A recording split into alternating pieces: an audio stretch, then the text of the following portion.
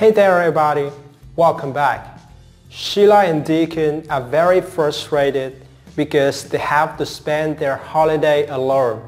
Sheila believes that she can be with her loving son Finn instead of being with Deacon in the hotel room. So she will accelerate her evil plan to destroy Steffy's life so she can be with her son.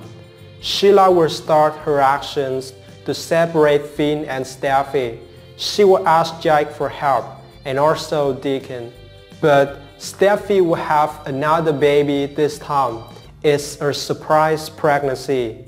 It's only been a few months since Steffy gave birth to Hayes, so it seemed like another pregnancy is out of the question.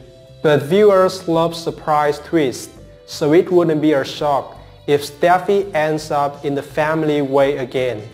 If Steffy is pregnant again, Finn will be extremely happy and Sheila's plan will face a big problem. With Sheila lurking around causing trouble, Steffy worried for her safety and the safety of her children. Seems like some hot drama will happen, so stay tuned. I'll update and come back with the latest spoilers.